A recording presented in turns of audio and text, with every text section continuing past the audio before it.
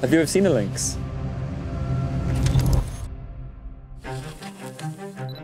Over a thousand years and we haven't had the lynx in the UK.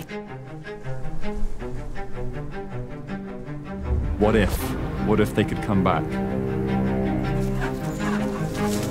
When the lynx was reintroduced, there were lots of concerns. People were afraid of them. It was also done very uh, secretively.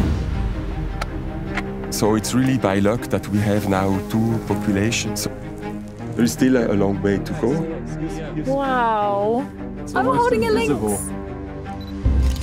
It's so special to be somewhere where we know the lynx have been just a few meters away from us.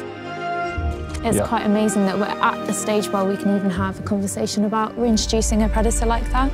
The ghost of the forest. Mhm.